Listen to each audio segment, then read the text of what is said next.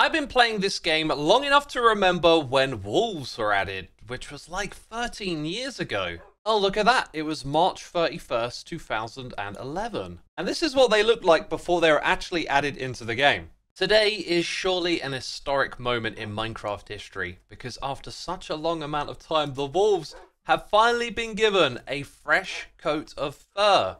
Hello everyone and welcome back to another Minecraft update video for 1.20.5. This is Snapshot 24W10A. We are going to make a whole bunch of new friends in this video today. And this is a great reason to be subscribed to the channel because, you know, you don't want to miss out on updates like this. It's what I do here on the channel covering the snapshots and Minecraft news, so make sure to hit that subscribe button.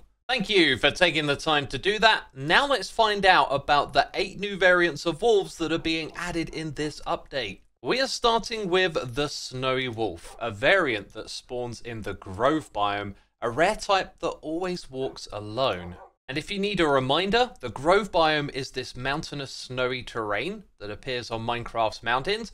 I was yet to find one of these roaming around on its own. I think that's what the article is hinting at here, that this is a wolf that only spawns on its own, as other ones spawn in packs.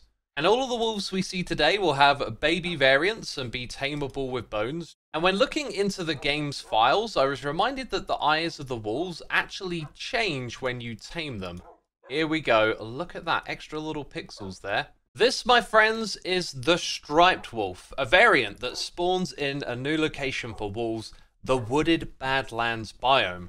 They spawn in larger packs of between 4 and 8 wolves at once. And I think what we'll do with each of these new wolves that we're checking out for the first time is we'll always be sure to tame one in this video. Next is the Spotted Wolf. This is a very vibrant breed right here and it can be found in the Savannah Plateau biome in larger packs of 4 to 8. And once again, we'll give the doggy a bone and tame this fella right here. Here we have the Rusty Wolf, which can be found in the Sparse Jungle biome, this time in smaller packs of 2 to 4. I must admit, I think these might be the cutest ones that I've seen so far. Next up is the Chestnut Wolf. This can be found in the Old Growth Spruce Taiga biome. This is actually a location that wolves could spawn before, but now you'll find these ones in smaller packs of 2 to 4. These are also adorable, which I think seems to be true of all of the wolves we've seen so far. Now we are in the Old Growth Pine Taiga, which is very similar to the last biome we were in, and this is where you can find the Black Wolf. Again, this is another location where wolves used to spawn, and these ones are in smaller packs of 2 to 4. Let's see those cute eyes. Ah, there they are. Then in our classic Minecraft forest biome, we have the Woods Wolf, a variant that spawns in the forest biome. This will be the dominant wolf variant that you'll be able to find in the overworld since the forest biome is very common. Let's go ahead and tame one of these friends. The last of our eight new friends that we're going to meet today is the Ashen Wolf. This variant spawns in the Snowy Taiga biome, and the website doesn't specify the pack size that they spawn at. Anyway, let's go ahead and tame one of these. Oh, they're just so adorable. Now, if we step outside of this biome to the snowy plains, this is where you'll see our original wolf hanging out.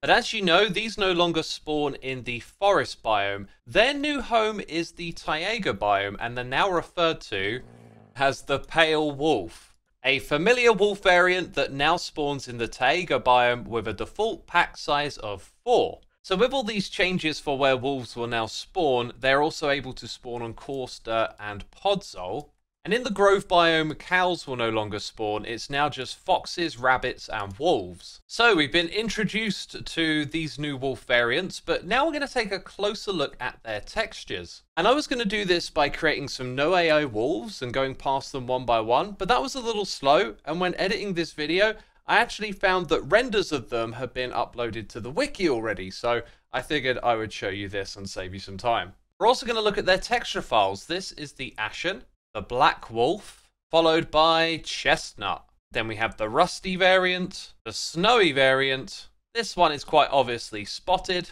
Then we have Striped, which reminds me of the Husk. And lastly, we have Woods. And those are the wolves. Now the conversation continues with you. Which one is your favourite and do you like these new variants? Be sure to discuss it down below in the comments. Now we are not done yet because this snapshot has more awesome for the 1.20.5 update. Now these are technical changes and they're mostly driven by the new stack components format which is driving a lot of changes under the hood. It affects many things and there's actually a lot of reading to do if this is your thing. If you're into making data packs, resource packs, custom stuff, you should definitely go and have a read of this as there are a lot of changes. The first two things I'm going to show you are possible thanks to Misode who sent me this data pack to show off what we can now do with the loom we can actually add our own custom, I was going to say like crafting recipes. I think banner patterns would be the correct term. So if we scroll down here, you'll see, look,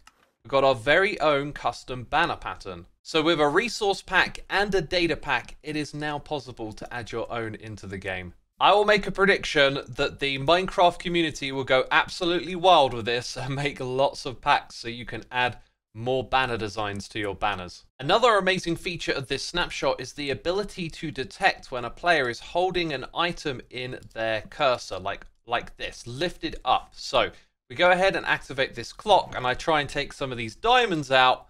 All I'm going to get is dirt.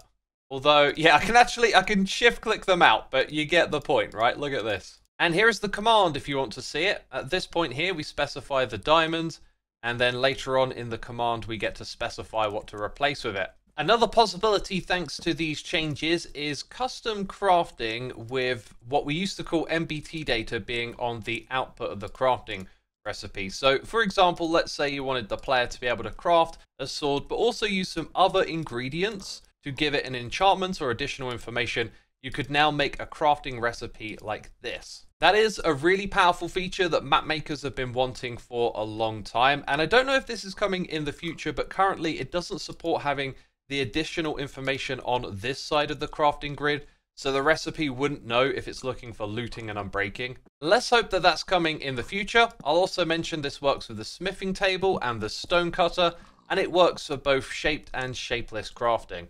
And next we have a little bit of Minecraft news that I'll be relatively brief about. This is for preview 1.20.80.20, which is Bedrock edition of the game. And as it states here, coming soon, hardcore mode. You all know what this is. This is where if you die in the game, you lose your world. And yes, it's coming to Bedrock edition in the near future. Also from the Minecraft website was an article about the glow squid. This had some strong suggestions in it, acknowledging that glow squid don't actually produce light, and then going on to say that Mojang's top physicists are currently investigating how this can happen. This, my friends, is quite possibly a hint that some sort of dynamic lighting might be coming to the game, and if they were to do this, I imagine they'd do it for both Bedrock and Java together, so we might see something like that in the future. And that, my friends, concludes my coverage of this amazing snapshot. I really think this was an incredibly cool addition. If you enjoyed my video, leave a like, subscribe to catch future snapshots, and I'll see you in a couple of days with an episode of Hermitcraft. Bye-bye.